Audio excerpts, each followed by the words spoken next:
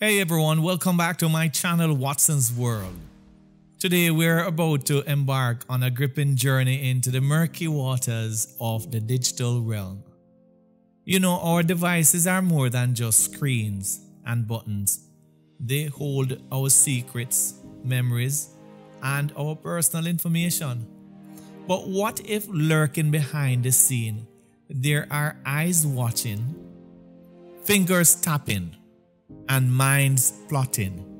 In the heart of Jamaica, one man would experience the harsh reality of cybersecurity threats, becoming the center of a scandal that would surprise the nation. What you have to say for yourself? What's for dinner?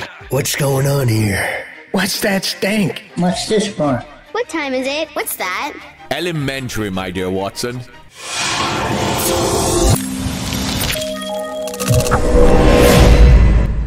Our story today revolves around Phillip Paulwell, a former cabinet member, member of parliament for Kingston East and Port Royal, and the opposition spokesman on energy.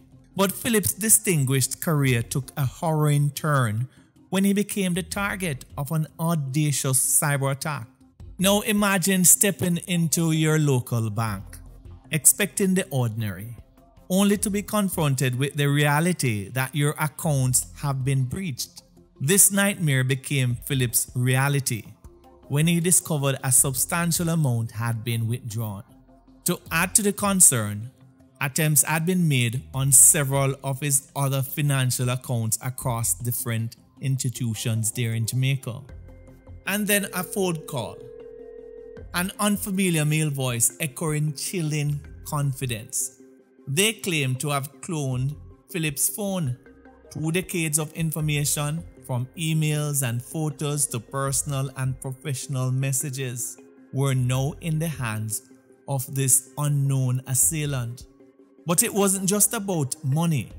The stakes took an even darker turn when the extortionists made a grave accusation, claiming that they had evidence of Phillip's involvement with underage girls, a claim he has strongly and categorically denied.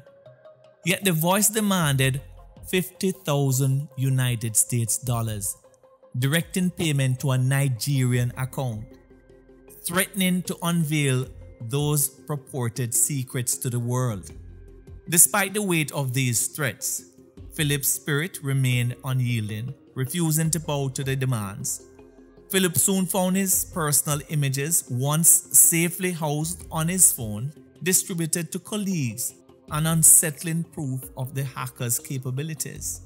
The tendrils of this extortion scheme reached even further than Jamaica's shores. International investigators traced this web of deceit to an account in the UK, one already swollen with a balance of 600,000 United States dollars.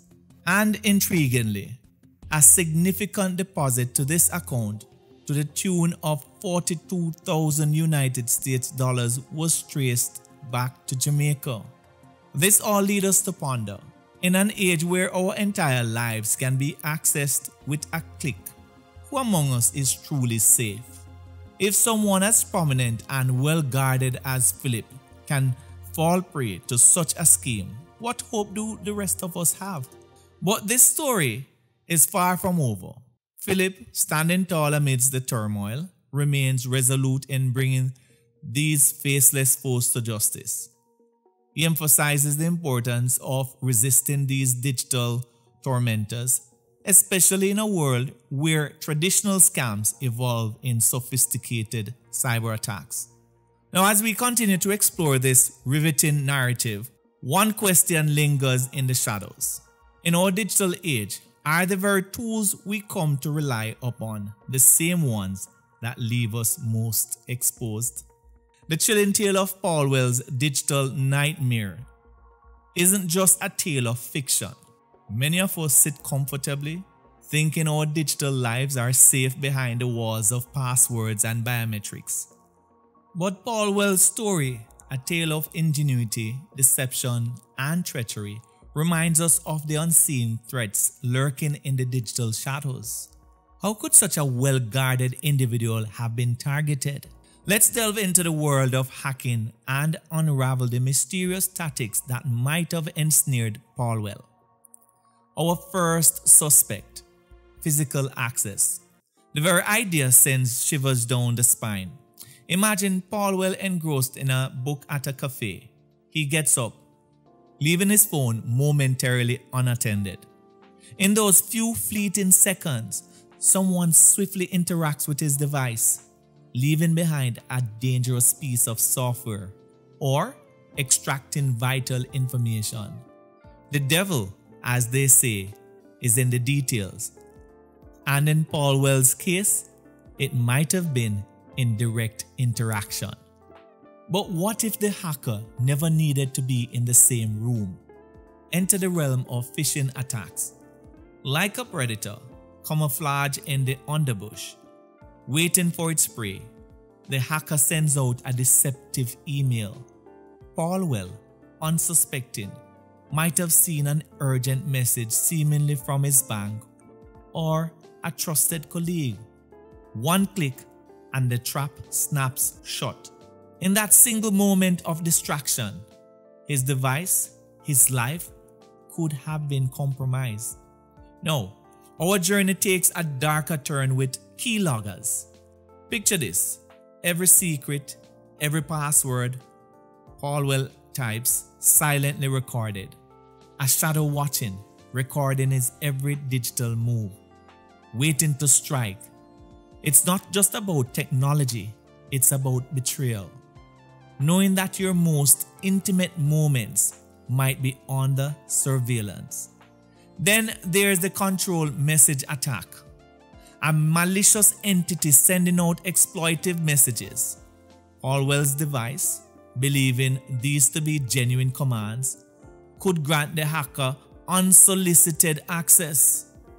It's like someone whispering through the keyhole, convincing the lock to simply open. Now, we have all received them, guys. Unsolicited emails crowding our inboxes. But what if, hidden among the benign offers and newsletters, lay a more sinister intent? Hacking via spamming. It's just that one wrong download, one inadvertent click, and a malicious link in these emails, and Paulwell's digital fortress might crumble. Now imagine devices that mimic the very cell tower our phones trust. This is the Stingray method. As Paul Paulwell walked the streets, his phone, thinking it's connecting to a trusted network, might instead be dancing to a hacker's tune. Every call, every message intercepted. Lastly, the treacherous spyware apps, malicious applications, cloak in innocence, nestled among Paulwell's other apps, silently gathering information from his favorite coffee shop to his late night conversations, a spy could have been chronicling it all. You see, the digital realm, much like the real world, is filled with mysteries and potential threats. Paulwell's story isn't just a tale of caution, it's a testament to our times, an emotive journey of trust, deception, and the quest for security in an increasingly connected world.